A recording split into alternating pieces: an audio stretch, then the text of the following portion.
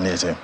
All right, let's see what's happening with uh, um, other markets. We know Bitcoin is hammered uh, with most um, altcoins um, this weekend with the war from the US SEC on the crypto market. We see uh, neutral sentiment in the market um, right now. We see the market is struggling, you know, at this point. Over the weekend was it was a bloodbath, you know, for this market. Let's look at the top cryptocurrencies we track. We see Bitcoin that trading 25,860 as up 0.27 percent this morning. But uh, if you look at other altcoins, they have been hammered there. Binance there, down 4.96%. Just Cardano trying to ick up again. They're up 5.94%. Let's bring in Olumide Adesina, our financial market analyst. Hello, Olumide. Great to have you. Good morning. Ladi. Olumide, quite, quite, uh, quite a weekend, you know, I must say, for the um, crypto market. But what, what's happening you know, with Binance? What's this war, eh, you know, with, with SEC, Securities and Exchange Commissions and Binance? We, we know it started in the U.S., but right here in Nigeria, we got that um, a, a, a, a circular from the Nigeria uh, Securities and Exchange Commission. It said Binance Nigeria Limited, that Nigerians should not trade with that platform. That platform is not regulated by the SEC right here in Nigeria. What's going on, Lumide? Yeah, just like you rightly highlighted, you know, at the beginning of the year, you recall, the outlook has been a regulatory uh, battle with the crypto market, but things got escalated, you know. And one could say that uh, definitely the Security Exchange Commission uh, faced um, stakeholders in the crypto space, particularly Coinbase and um, Binance. And if you understand the systemic importance this uh, stakeholders play in the crypto market. One will understand why we're seeing uh, such cascade of losses, you know, over the weekend.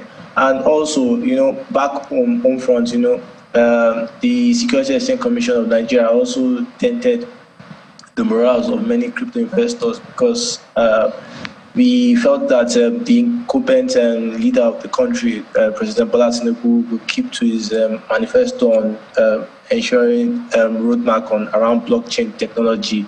And you know, uh, coming with the CBN crypto ban, um, that seemed not to be. So that news also really shocked um, some uh, Nigeria crypto fans. But albeit it may, you know, the market is looking like it's picking up, and um, liquidation suggests that it's not as bad as we saw last year, May, because uh, just a few minutes ago, the Prime Minister of England really commended um, a venture capital of making uh, starting a crypto school in the fifth world's fifth largest economy. So it tells you that despite the fact that we're seeing regulatory battle, I think um, what makes this difference is that we are seeing support from powerful blocs like the U.S. Congress. We're seeing Republicans kicking against Gary Gensler's um, unethical um, statements around crypto spaces because first of all you mentioned um, ethereum was a security. Now you shifted to commodities. Now you're moving to um, different asset classes.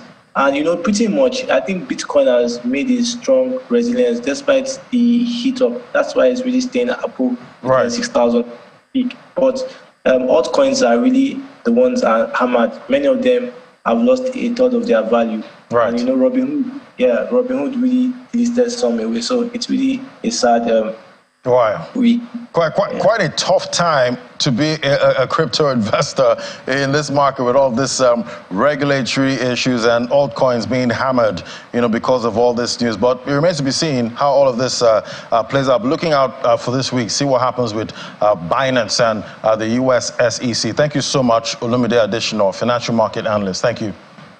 Thank you for having me. All right, uh, that's a wrap on the program. Thank you so much for watching. So much to unpack today and uh, this week, you know, for uh, most of this market. Don't forget to join us at 1.30 uh, on Business Incorporated for more updates and developments in the world of business. And remember, you can watch this again on our YouTube channel. Just flip over to YouTube, search for Channel Television, click on our videos, and you can watch all our productions. Thank you for watching. I'm Ladi Williams. Happy Democracy Day.